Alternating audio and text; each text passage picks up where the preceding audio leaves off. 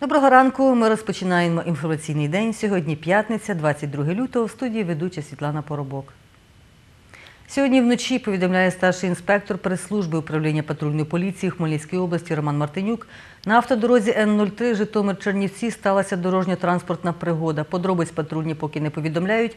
За словами інспектора, водій був тверезий, люди не травмувалися. У Хмельницькому вночі службу 102 викликали 53 рази. За словами інспектора прес-служби, більшість з них стосувалися порушення тиші, розпивання алкоголю в громадських місцях та сімейних конфліктів. В обласному центрі патрульні виявили п'ятьох водіїв з ознаками алкогольного сп'яніння. Сталася дорожньо-транспортна пригода. Люди не травмувалися. Порушень правил дорожнього руху за ніч поліцейські зафіксували 32 випадки. За ніч повідомляє чергова акушерка приймального відділення Хмельницького перинатального центру Тетяна Плейзор. Народилося сім дітей, три хлопчики та чотири дівчинки. Найбільша вага малюка 3 кг 900 грамів, найменша 2 кг 850 грамів. 24-те позачергове пленарне засідання Хмельницької обласної ради відбудеться сьогодні. Про це повідомила консультант відділу з питань внутрішньої політики облради Наталя Блажевич.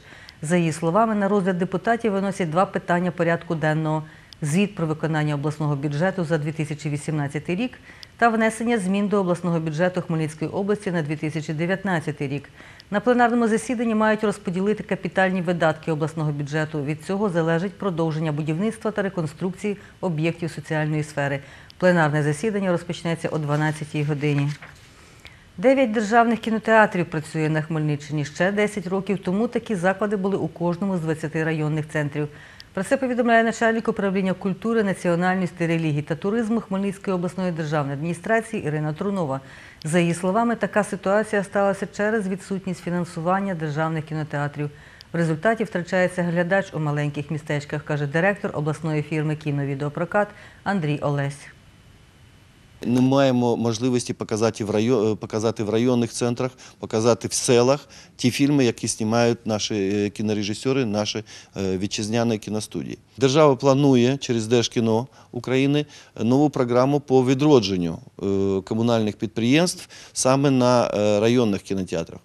Е, Тому що вони стоять без роботи, персонал звільнений, і самі, самі ці е, будівлі руйнуються і немає ніякої важливості, немає бюджету на те, щоб привести їх до ладу. Е, Ми плануємо відновити мережу, відновити мережу у Хмельницькій області. Ускладнення погодних умов очікується на Хмельниччині через проходження атмосферного фронту. Про це розповідає Юлія Грабар, синоптик Хмельницького центру з гідрометеорології. Продовж доби випадатимуть помірні опади, сніг та мокрий сніг Е, з утворенням снігового покриву. Місцями спостерігатимуться ожеледь вночі та вранці налипання мокрого снігу. Е, В денні години місцями хуртовина е, та також прогнозуємо на дорогах ожеледицю вітер західний з переходом на північно-східний 7-12 метрів за секунду. Пориви 15-20 метрів за секунду. Температура повітря по області е, протягом доби від 1 градусу е, тепла до 4 градусів морозу. Е, У Хмельницькому також протягом доби від 0 до 2 градусів морозу. В наступні 4 доби опади поступово припиняться.